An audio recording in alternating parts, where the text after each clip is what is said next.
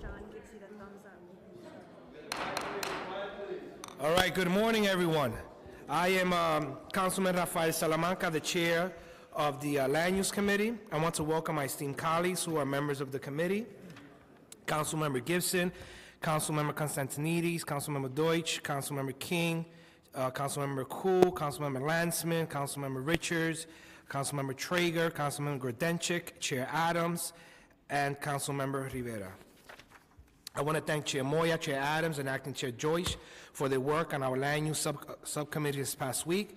Today, we'll be voting to approve LU 7, the designation of Landmarks Preservation Commission of the Peter P. and Rosa M. Huberty House located at 1019 Bushwick Avenue as a historic landmark. The building located in Councilmember Reynoso's district in Brooklyn is a freestanding colonial revival home made of brick, terracotta, and galvanized iron.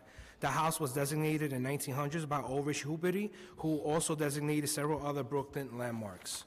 We will be voting to approve reconsider LU Hopkinson Park Place tax exemption application for properties located at Park Place and Thomas S. Boyland Street, just north of East New York Avenue and south of Eastern Parkway. HPD seeks approval of a 40-year real estate tax exemption pursuant to Article 11 of the Private Housing Finance Law to facilitate the construction of three multiple dwellings with 25 homeownership units for the low-income families in Councilmember Ampry Samuel's district in Brooklyn. We'll be voting to approve LU 6, uh, the 350 East 88th Street special permit application for property located in Councilmember Kallos's district in Manhattan. This application pursuant to Section 74-711 of the zoning resolution is for a waiver of use regulations and of rear yard requirements to permit the operation of an educational, tutorial, and test prep company in an existing four-story building. As a requirement of the special permit, repairs and restoration of the neighboring Parsonage Holy Trinity Church Rectory, a a designated landmark will be required.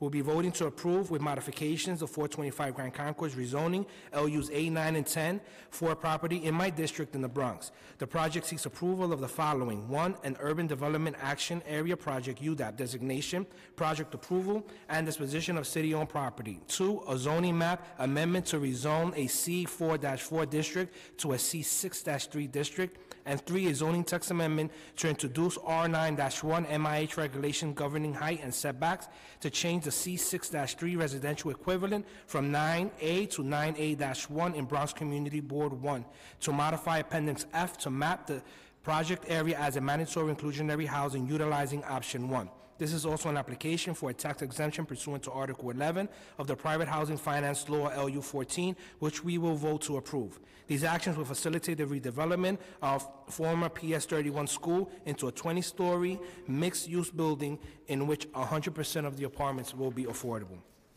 Our modifications to the 425 Grand Concourse rezoning action will clarify the towers will not be permitted in R9-1 district and will also limit the applicability of the new 9 R9-1 slash C6-3 regulations to only this MIH area, Area 4 of Bronx Community Board 1. And with that, are there any questions or remarks on these applications?